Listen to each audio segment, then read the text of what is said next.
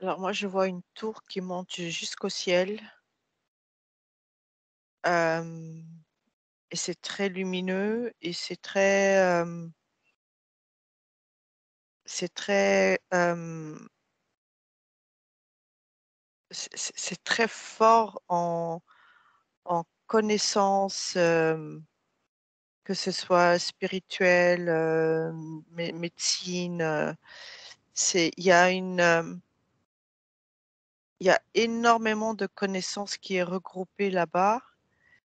Et idéalement et originalement, c'était c'était pour mettre à disposition du, du peuple. Mais c'est vraiment, euh, ça touche le ciel, quoi. Pauline? Alors, euh, moi, je connais pas bien ce, ce sujet. J'ai vu un phare. Alors, je sais pas si c'est métaphorique ou physique. Et, euh, et c'est bizarre parce que c'est un phare qui a pas l'air d'être dans l'eau. Ou alors, effectivement, c'est le côté tour euh, sur Terre. Je, je sais pas bien. Et, euh, et après, j'ai vu, enfin, et en même temps, en fait, à côté, j'ai vu des livres qui brûlaient. Alors, je sais pas si la bibliothèque a brûlé. Elle a Je sais brûlé, même oui. pas si. Ah. Et je sais pas, ouais, bah, je sais pas si ça existe encore, mais en tout cas, moi, j'ai vu que ça brûlait, quoi. Oui, oui, elle a, elle a brûlé euh, en entier avec euh, Ah. une majorité de toutes les connaissances qui étaient à l'intérieur. Ok, bon, on, on- je donnerai plus d'infos. hein. Oui, ok, on ira voir. Sophie, qu'est-ce que tu as eu? Euh, rien d'original. J'ai vu une armoire avec des livres. Et en fait, elle, euh, elle s'est ouverte en deux. Et il y avait plus. enfin, quand elle s'est ouverte en deux, il y avait encore des livres à l'intérieur. Et puis ça continue comme ça, tu vois, comme si. euh, euh, bah, il, peut y avoir autant de livres que tu veux dans cette bibliothèque. Je te dis ce qui vient. hein, C'est un ouais, peu bien bizarre, sûr. mais euh, et, euh, il suffit de continuer à ouvrir les armoires et. euh, euh, et tu as accès aux livres. Ok. Ok, tu es toujours, euh, tu es à l'heure, si je te dis à l'heure actuelle aussi? Non. Ok. Ok. Bon, alors, euh, j'ai pas réétudié à fond le sujet avant de le lancer, je juste un petit peu relu, hein, donc euh, vraiment les, les petites infos, hein, c'est euh, donc euh, c'est Ptolémée, un des généraux euh, d'Alexandre le Grand. Attendez, non, non. On va passer par là parce qu'on dit que c'est en lien avec Alexandre le Grand, mais on va aller plus que dans le détail. Donc, c'est en 288 avant notre ère. Démétrios de Phalère, qui dirigeait Athènes et qui a été exilé à Alexandrie, Alexandrie qui était euh, en Égypte, et qui était le disciple d'Aristote, euh, persuade le roi d'Égypte de le laisser construire un édifice qui pourrait rassembler toutes les œuvres historiques, poétiques et philosophiques connues de leur monde connu. Donc ça a été accepté. Et donc ils ont demandé euh, à des dirigeants euh, du monde connu d'envoyer des parchemins de toutes les connaissances connues. Et apparemment, on arriverait à un demi-million de, parchemins avec les connaissances de l'époque. Qu'est-ce que vous avez comme information après Pauline? Alors, j'ai vu au moment où, en fait, j'ai vu comme différentes personnes arriver vers euh, cette bibliothèque pour euh, apporter donc des connaissances. Et j'ai vu comme si euh, aux portes, je sais pas c'est aux portes de la ville, du pays, de la bibliothèque, que déjà à ce moment-là, ils étaient comme empêchés de pouvoir amener. En fait, il fallait presque le faire. comment dire, se cacher pour amener certaines, certains textes, quoi. Ok, tu peux avoir, euh, je passe à Anna et puis Sophie, le pourquoi, puisque justement euh, c'était euh, fait pour rassembler le savoir, pourquoi ça bloquait. Anna, Alors, euh, ce que j'ai vu, c'est la tour à l'envers, c'est-à-dire sous. alors, je sais pas si après on va pouvoir publier ça. Bah, écoute, dis toujours. J'ai vu, ça la reste entre tour à nous. j'ai vu la tour à l'envers sous le Vatican et ça me donne euh, la nausée. C'est comme si euh, des tout, tout ce qu'il y avait dedans dans cette tour a été dévié. Euh, C'est-à-dire que quand on amenait des choses dans cette tour, dans, ce, dans cette bibliothèque, euh, ça n'allait pas dans la bibliothèque. C'était amené ailleurs. Ok. Ou c'est, ça a été amené ailleurs un peu plus tard, mais en tout cas, euh, c'est pas resté là. Et, euh, et la majorité de, de tout ce qu'il y a comme écrit, comme euh, euh, se trouve, ce que je vois moi, euh, sous le Vatican. À l'heure actuelle, aujourd'hui? Oui. Dans le physique? Ok. Oui. Ok. Et j'ai pas envie d'aller voir. Hein, parce Non, que non, non, non, non. De toute façon, on va nulle part. hein. On reste entre Non, non, non, non, je même, euh, même Hmm. euh, sur l'écran. Non, non, non. Non, Ouais. non, non. Vatican, on va pas aller voir. ok. Sophie. Ouais, j'avais cette information-là aussi quand tu euh, t'expliquais qu'ils avaient demandé euh, de rassembler toutes les euh, connaissances. Je voyais, comme tu vois, les parchemins qui sont acheminés et en fait certains qui sont qui sont déviés et qui sont pas mis euh, à disposition de, de- du peuple comme c'était prévu au départ. Qu'on estime que c'est de la connaissance qui doit pas arriver au ple- peuple et donc ça devient un peu un. C'est comme si, tu vois, les bibliothèques que je voyais au début, ben, comme s'il y avait des euh, des, des- des parties d'armoires qui sont cachées et qui sont accessibles qu'à une partie de, de la population. Et, euh, euh, et ouais, c'est ça. Pauline. Donc, euh, Ok. Enfin, vas-y, tu peux finir. hein, Sophie. là, ouais, ouais, l'intention de départ qui était de partager la connaissance à tous, dès le début du projet, elle a été un peu euh, Dévié. déviée. Ouais. Ok. Pauline? Alors, euh, moi, j'ai l'impression que la personne qui a voulu construire ça, elle, elle était vraiment dans l'intention de réunir des connaissances. J'ai pas l'impression que ce soit euh, de l'intérieur que c'était euh, pourri, entre guillemets. Je vois qu'il y a des personnes qui ont vraiment été tuées hein, pour pas ramener des documents, parce qu'il y a comme eu, eu un moment de panique à l'idée de cette euh, affluence d'informations. Euh, Il y a comme euh, des êtres involutifs qui se sont dit au secours. Donc, ils ont essayé d'éviter que des documents arrivent. Comme en fait, j'ai vu que ça a fait l'effet inverse. Comme ceux qui voulaient ramener des documents, des connaissances, ils ont su que euh, ils étaient empêchés. Ils ont redoublé leurs efforts en fait pour ramener la connaissance à cet endroit, euh, la centraliser. Et euh, j'ai des frissons partout. Et aussi. donc euh, ensuite, euh, du coup, c'est comme si euh, les forces involutives, entre guillemets, avaient laissé tomber pour un temps en se disant finalement, c'est plus facile de les centraliser pour euh, que ce soit détruit.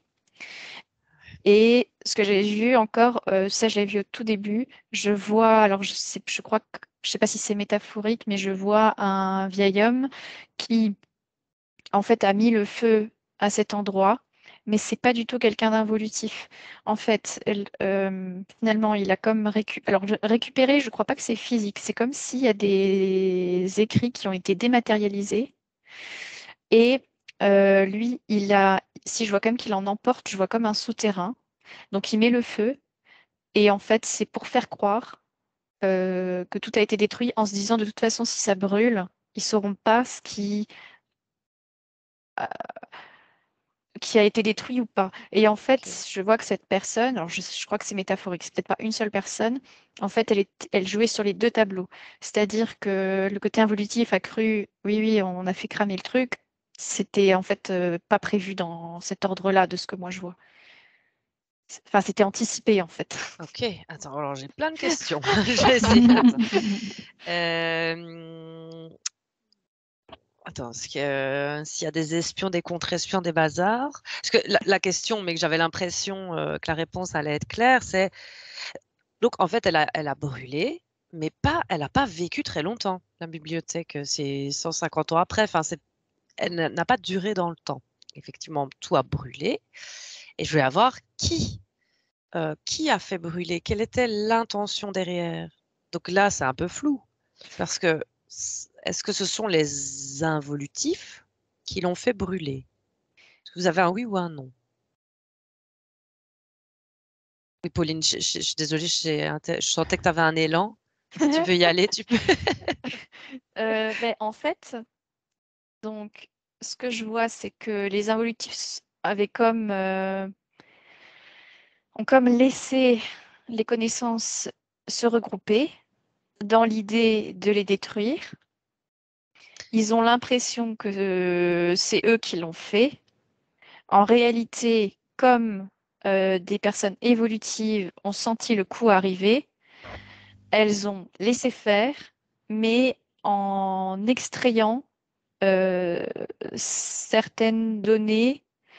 Et j'ai l'impression qu'il y a que c'est extrait à la fois dans le physique, donc des livres qui auraient été sauvés, et je vois une porte souterraine, mais je vois aussi euh, des écrits où finalement, c'est comme si à ce moment-là, il avait été intéressant que des hommes en prennent connaissance et puissent s'instruire avec, et que passé ce temps-là, il fallait qu'il soit comme dématérialisé. Donc, comme euh, euh, tu vois, je vois un livre qui se, qui se dédensifie. Mmh dans l'idée de revenir plus tard, parce que finalement, c'est plus la période pour ces connaissances-là. Ok. Ok. Merci. Anna?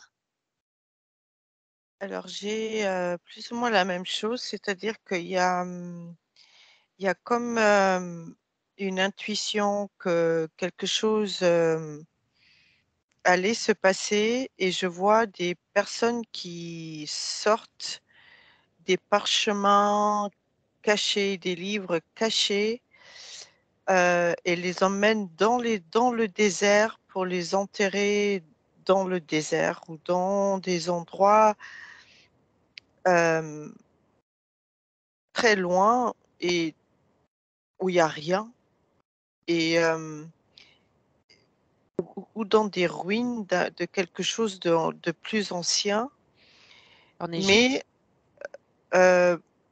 Possible, possible. Mais je vois que c'est c'est en partie déjà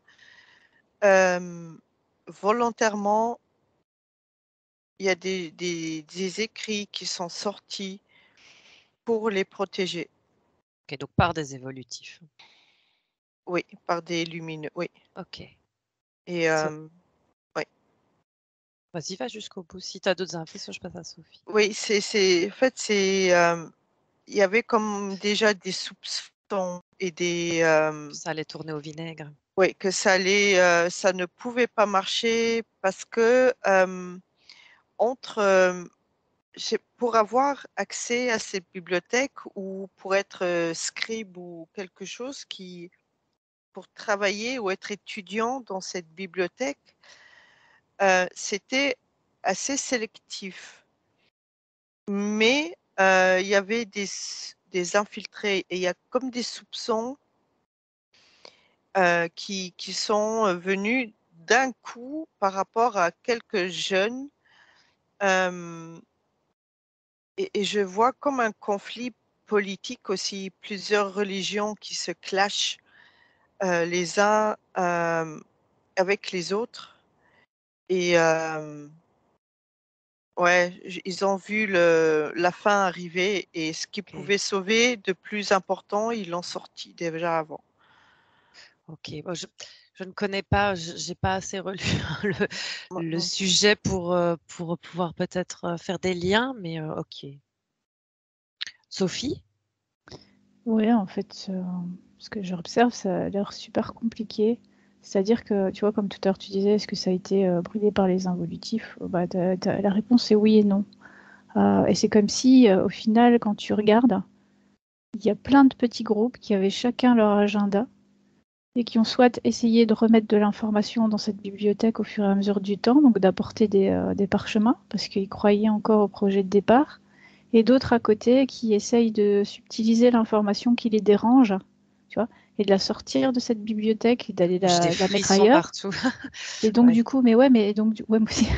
et donc du coup, euh, c'est presque l'impression d'avoir été sur place, quoi, tu vois. Et, euh, et c'est comme si, en fait, chacun de ces petits groupuscules, il a été mettre l'information qu'il avait subtilisée à des endroits différents.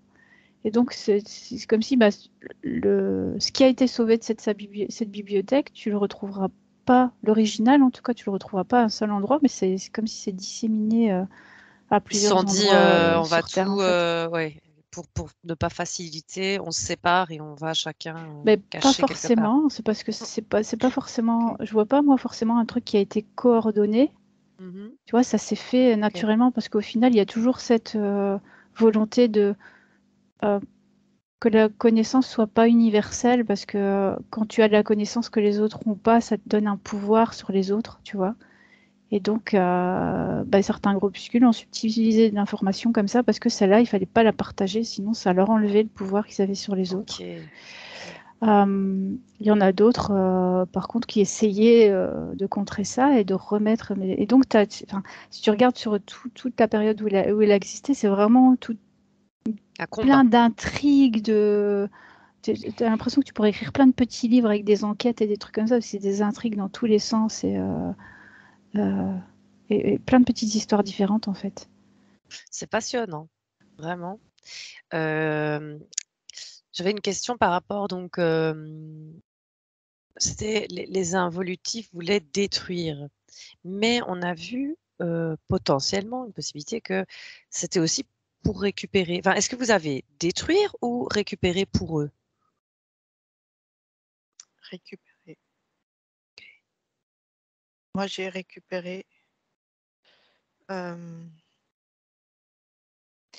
Il y a une destruction mais c'est comme si c'est euh,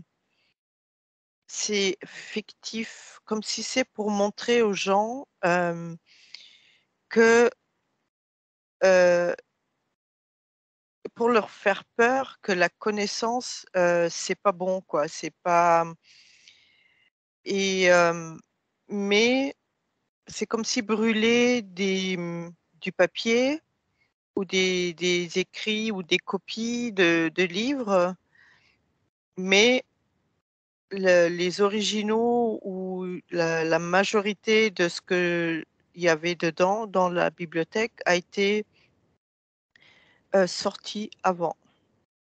Ok, par, en fait par les deux camps. Oui. Ou par les multiples camps, oui. donc en tout cas les lumineux qui ont essayé de sauver des choses et les involutifs qui voulaient récupérer pour eux oui. et ne pas partager ce savoir-là. Ok. Pauline? Alors, euh, j'ai vu qu'il y avait en fait des. Que... Là où il y avait l'intérêt pour les évolutifs de laisser brûler euh, cette bibliothèque, c'était de leur faire croire donc à la disparition de certains écrits, alors qu'en fait, euh, certains écrits, au, au contraire, étaient recopiés. Et effectivement, moi, je les vois disséminés du coup partout. Ils se sont dit, bon, bah, de toute façon, euh, ici, ça va le faire, quoi. Donc, on va le, les disséminer. Mais pour ça, il faut les recopier. Donc, en fait, il y en a qui euh, se sont mis à faire que ça. Recopier, recopier, recopier.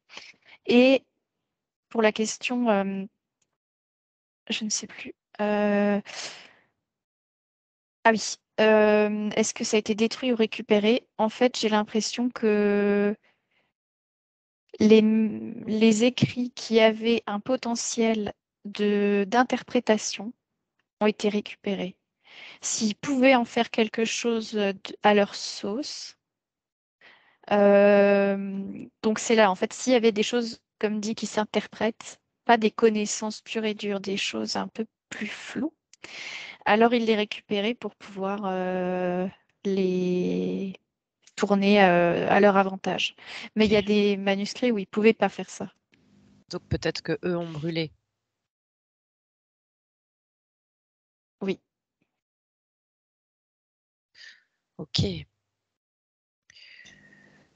Mais je, je pense qu'en plus, c'est dans les, un peu, on dit les, les légendes urbaines, ou même, je, je dis ça, mais je suis même pas sûre que ce soit que des légendes, qu'au Vatican, il y a des parchemins, euh, il y aurait potentiellement des parchemins perdus de la bibliothèque d'Alexandrie. Mais comme on peut pas aller voir les bibliothèques euh, Mm. privées du Vatican, mais euh, c'est ce qu'on dit. Hein. On nous laisserait pas passer, je pense. Non, Comment on doit veut pas, on veut pas. aller. protégé. On veut pas aller. Mais donc, euh, effectivement, ça a du sens, quoi. Je n'avais pas fait euh, le lien, mais euh, quand Anna l'a dit tout à l'heure, je disais, ben, ça a du sens par rapport à ce qu'on dit. Oui, Sophie. Par contre, quand j'ai dit tout à l'heure aussi, c'est disséminé à plusieurs endroits. Un des endroits que j'ai vu, c'est, tu vois, le- le- les, les pattes du sphinx.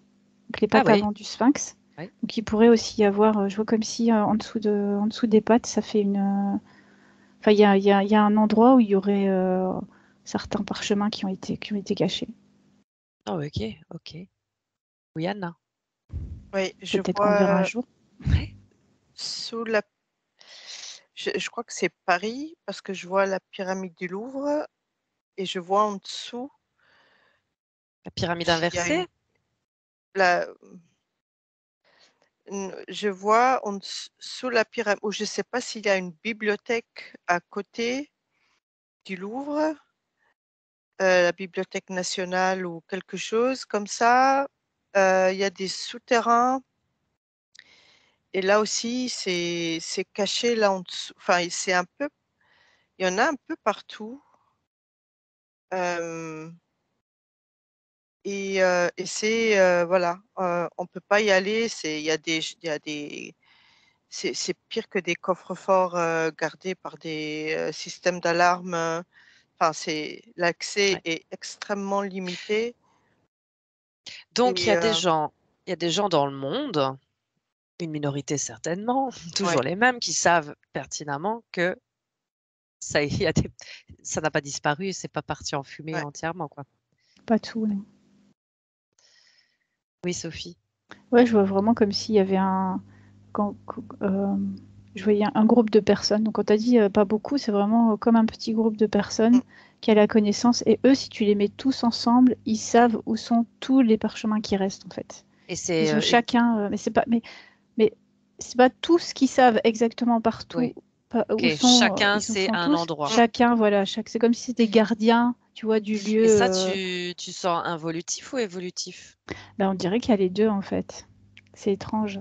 C'est, c'est comme. euh, euh, ouais, c'est, c'est pas. euh, Ouais, il y a les deux. Il y a les deux dans un même groupe ou il y a des groupes différents? Bah, c'est pas, je, je sais pas s'ils forment un groupe. Je disais, si tu les mets ensemble, tous ensemble, ils ont la connaissance de où sont tous les. Tu vois, donc c'est, euh, ouais, on dirait qu'il y a comme une espèce de, de principe de. euh, tu sais, passage de, De de connaissance. rôle, de gardien du oui. lieu, où sont les parchemins, machin, mais t'en as des deux côtés, en fait. Ok. Est-ce que tu Ouais, vois Anna aussi? ouais, c'est comme si euh, il y en a, il y a des soit des, des infiltrés, je dirais, euh, qui cachent leurs vraies intentions, euh, qu'elles soient positives ou négatives, dans ce groupe. Euh, donc euh, voilà, c'est comme si les deux ont un pied dedans et euh, mais euh, c'est politique quoi, c'est vachement politique. Ok. Et religieux. Oui. Oui, Alors, je me, Vatican. je me voyais euh, rentrer dedans, mais je sais pas si c'est une tour, parce que moi je vois une tour depuis tout à l'heure. Bon, je sais pas à quoi ça ressemble, mais moi je me vois dans une tour. Euh, C'est vrai Je qu'on vois, dit que Je c'est- crois qu'il y euh, avait, je crois qu'il y avait des tours parce que En fait, il y a, y deux bibliothèques normalement, mais euh, la principale, attends. En tout cas, je me vois rentrer ouais. dans une tour et euh, ça m'a fait le parallèle avec. euh, je, je vois que ça grouille effectivement de. C'est très stimulant et en même temps ça grouille de complots et de, de mystères et ça me fait le parallèle avec Versailles où comme ch- chacun avait un intérêt personnel et certains petits groupes avaient des intérêts et euh, soit très fidèles euh, au roi, soit euh, contre, mais ils se cachent et après ils retournent leur veste et même eux, ils savaient pas qu'ils allaient changer de camp. Mais enfin, c'est un micmac et ça grouille vraiment quoi. Il y a, en, plus, il y a une espèce Game of de Thrones, euh, Game of Thrones dans la bibliothèque Ouais, d'Alexandrie. c'est ça. Et, et en plus, il y a ce côté où toutes ces connaissances ont comme, euh, je sens que c'est bouillonnant comme ça, ça a comme, euh, euh, je sais pas, ça soulève une énergie st- stimulante comme ça, mais à la fois, ça éveille des débats, des, enfin, ça laisse pas indifférent comme lieu, quoi. C'est, Ouais. Mais en fait, il y y a le phare d'Alexandrie.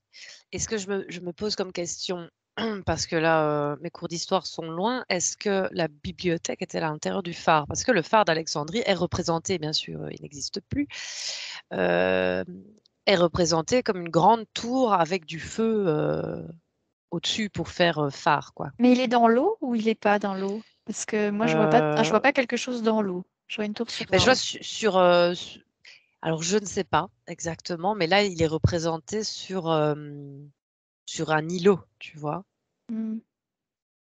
Je vois pas, je vois pas sur un îlot. Euh, Je crois qu'il est juste devant la forteresse, euh, les murs de la ville d'Alexandrie. Euh, Parce mais que je le, ne- le phare d'Alexandrie fait partie euh, de cette merveille euh, à l'époque, les sept merveilles Oui, du monde. mais hein. je je vois pas le lien Non, c'est plutôt des avec. tours. Parce que je vois ni, ni sur l'île, ni sur un îlot, ni. euh, mais je vois une construction euh, très haute, peut- peut-être même deux. Je sais pas. En tout cas, euh, ça. En fait, je me vois marcher au milieu et comme tendre l'oreille pour euh, entendre un peu comme les complots de tout le monde, comme ça. Ouais. Je, je regarde un petit peu hein, la bibliothèque d'Alexandrie, mais donc, euh, en 47, c'est euh, les troupes de Jules César qui incendient la flotte d'Alexandrie et le feu se propage aux entrepôts et euh, aurait détruit une partie de la bibliothèque. Donc ça, c'est euh, dans les livres d'histoire euh, ce qu'on apprend. Bon, je, moi, je préfère pas trop dire de bêtises euh, sur l'histoire parce que c'est quand même euh, sacré. Ouais, bon, l'histoire. euh, Donc, euh, oui. Oui, en plus de ce qu'on apprend et, euh, et entre ce qu'on voit, ce qu'on peut découvrir. euh, voilà. Ok, c'est super intéressant. Est-ce que vous avez euh, peut-être une dernière info euh, par rapport à cette bibliothèque d'Alexandrie? Oui, Pauline. Alors, je vois que quand ça a brûlé, il y a eu vraiment euh, plein de réactions différentes du coup. Et il y en a vraiment, ils ont, ils ont senti comme une, pas une trahison, mais ils, ils, ont ressenti un désarroi, comme si on leur arrachait euh, quelque chose, parce qu'ils ils connaissaient la valeur de ce qu'il y avait dedans, mais ils n'avaient pas le pas de recul de se dire, bah, d'une part, qu'il y a des choses qui avaient été sauvées, euh, deuxièmement, qu'il y a des choses pour lesquelles, de toute façon, comme si la période n'était plus propice, donc euh, ces livres n'avaient plus lieu d'être. Et, euh, et donc, euh, en fait, il y a des gens qui ont du recul, il y a des gens qui ont de l'espoir parce qu'ils savent qu'il y a des choses qui sont parties. Enfin, il y a vraiment toutes les réactions. Mais je vois surtout des gens qui sont sidérés, quoi. De, de- parce qu'ils ont la sensation qu'on ne pourra plus jamais revenir en arrière sur toutes ces connaissances qui avaient été centralisées là. Je peux imaginer dans la. Oui, je, je peux vraiment l'imaginer, oui. Mhm. Ça a dû être euh, comme une catastrophe euh, en voyant Ah oui, ça. vraiment, il y en a, c'était la fin de leur vie presque, quoi. C'était. Sophie? Euh, ah non, moi, j'écoute. Ah Oui, non, mais en fait, j'ai une question. Si vous n'avez pas pu se... Dans euh, tous ces, documents, ce pas vraiment des livres, ces parchemins, ces savoirs, est-ce qu'il y avait des savoirs sur des, ce qu'on voit les, les sociétés euh, évoluer, mais plus anciennes? Vous voyez, comme euh, ce qu'on parle de, de Mu ou de l'Atlantide, est-ce qu'il y avait ce genre d'informations? Pauline? Alors, avant que tu aies fini de poser ta question, je voyais des livres qui euh, donnaient des explications sur l'homme, mais l'homme, euh, comment dire, comme l'homme depuis son origine, en fait. Euh, et je vois que c'était biologique énergétique. C'était vraiment centré sur comme la race humaine, mais, mais des connaissances qu'on pas, n'apprend pas du tout maintenant, quoi. Ok. Anna? Oui, moi j'ai, j'ai- je vois des, des livres où il y a le système solaire dedans, où il y a les mouvements des planètes avec des, des, des, des jours, le nombre de jours qui pour faire le tour du. Enfin voilà, Mhm. c'est très très détaillé, que ce soit en astronomie ou des connaissances euh, d'ailleurs euh, par rapport aux constellations. euh, je vois, mais c'est énorme ce que je vois comme, comme connaissance. De ce côté-là, que ce soit médecine, oui, plein de choses qu'on définit aujourd'hui comme ésotériques, euh, voilà quoi. Ok. Et donc, ça serait. Certains ont décidé que ces connaissances allaient, euh, voilà, ne, seraient plus accessibles euh, aux humains à cette époque-là. Oui, Pauline. En fait, je comprends maintenant la réaction de, ces personnes qui étaient vraiment euh, complètement désœuvrées. C'est parce que c'est comme si on leur avait, c'est comme si on avait renié en, brûlant ça, parce qu'ils sont pas dupes. Hein, euh, alors je sais pas comment ça a été, ça a été fait à l'époque, mais bon, effectivement, c'était, c'était pas un incendie accidentel, quoi. Je veux les gens le savaient. Et euh, c'est comme si quelqu'un était, euh, comment dire, quelqu'un n'avait pas reconnu ce qu'ils étaient dans leur euh, globalité d'être humain et qu'on avait voulu leur enlever euh, leur intégrité et euh, leur dire euh, mais non, tu n'es pas cette merveilleuse complexité, en fait, tu es ça. Et on leur avait donné un tout petit livre de tiens, ça c'est ce que toi t'es, et puis arrête de te prendre pour cette magnifique complexité de vie sous toutes ses formes. Et, du coup, les personnes euh, se sont senties comme euh, amputées de toute cette partie-là, en fait, parce que c'est ce que c'est ce qu'on leur reflétait du coup. Ok, super intéressant. Est-ce que vous avez, je vous ai un, beau mot de la fin, mais si on a, s'il y a quelque chose qu'on doit encore savoir, les dernières infos qui vous apparaissent sur ce sujet, je trouve passionnant. Oui, Pauline. Il y a des livres qui vont se redensifier, enfin des écrits qui vont se redensifier. Euh, voilà, c'est tout. Ok. Je croyais que j'allais avoir une suite, mais non. Anna. www, euh, bibliothèque d'Alexandrie. euh. Euh, en fait, je vois comme si euh, la bibliothèque dans les terres,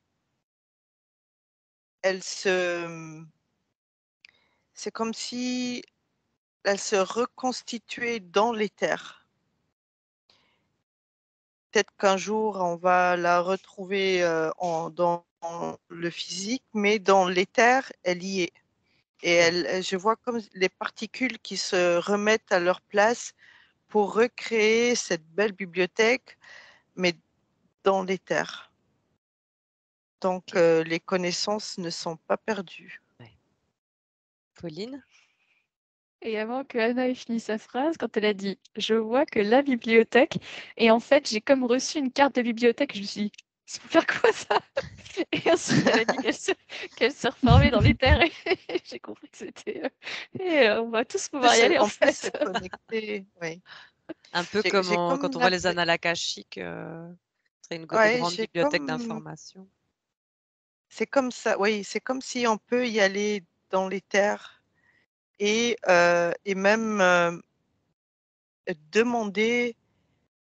euh, c'est tout à fait ça, comme dans la bibliothèque des, des akashiques, comme à- avoir accès à, à ces livres, puisque ceux qui, et ceux qui les ont écrits, ils sont tous euh, là-haut. Et on peut se connecter aux livres qui sont là-bas, qui Avoir les dans informations, ouais. Ouais. OK.